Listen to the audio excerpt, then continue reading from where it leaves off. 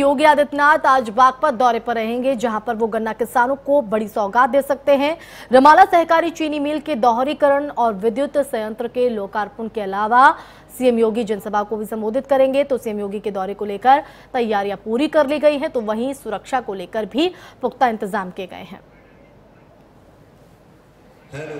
जो यहाँ पर विस्तारीकरण हुआ है और नवीनीकरण हुआ है मिल का, उसको लेकर के माननीय मुख्यमंत्री जी का यहाँ पर एक तो लोकार्पण का कार्यक्रम है।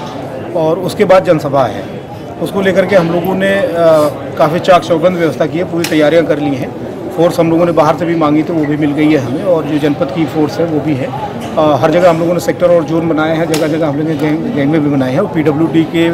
माध्यम से बैरिकेटिंग भी करवा ली है तो यहाँ पर आप देखेंगे हेलीपैड भी पास में है और यहाँ कार्यक्रम स्थल भी बना है और अंदर जो शुगर मिल के अंदर का कार्यक्रम उसके लिए भी हमने रस्सा पार्टी और जितनी भी पार्टियाँ होती वो सब बना ली है और बहुत ही अच्छे से ये कार्यक्रम सब शुरू होगा